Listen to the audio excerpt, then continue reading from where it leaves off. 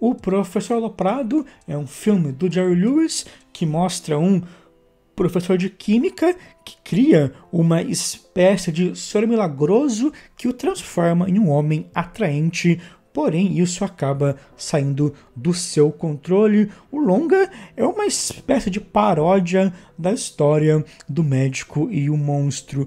Dentre os filmes do Jerry Lewis, esse talvez seja um dos mais clássicos no sentido de seguir uma trama. A maioria das premissas dos seus outros filmes são mais desculpas para ele, ele montar ótimas gags e até para desconstruir aspectos narrativos. Mas aqui toda a estrutura possui um certo apelo dramático e uma continuidade dramática. O professor se envolve romanticamente com uma moça, ele engana várias pessoas se passando por esse outro homem, mas no final tudo é revelado em uma das cenas mais dramaticamente poderosas do cinema do Jerry Lewis.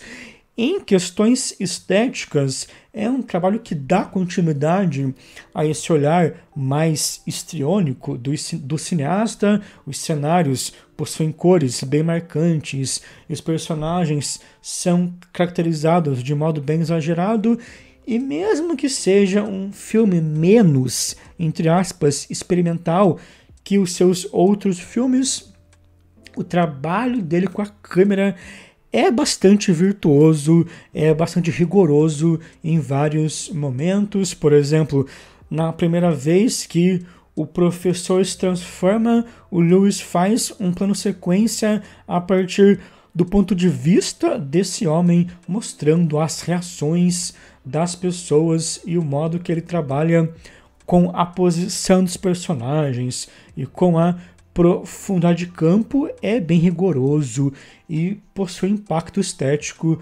bem interessante.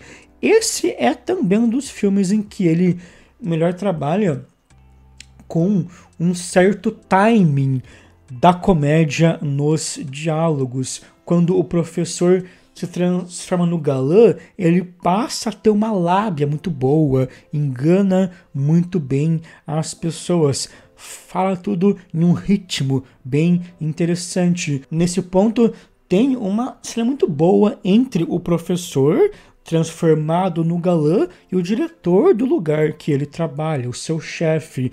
Uma cena em que ele engana muito bem o cara, puxa o saco do cara ao mesmo tempo que vai mudando aspectos dos cenários mesmo que seja um trabalho mais narrativo do que os outros, existe sempre essa intensificação das formas e dos cenários. O Gilles Deleuze fala sobre isso quando comenta sobre o Jerry Lewis, que os filmes passam de um mundo a outro através da confusão de cores, da metamorfose das formas e da mutação dos sons. No livro Imagem Tempo, o Deleuze faz uma espécie de histórico da comédia burlesca e mostra como o Lewis parte de heranças de tal tradição mas tende a expandir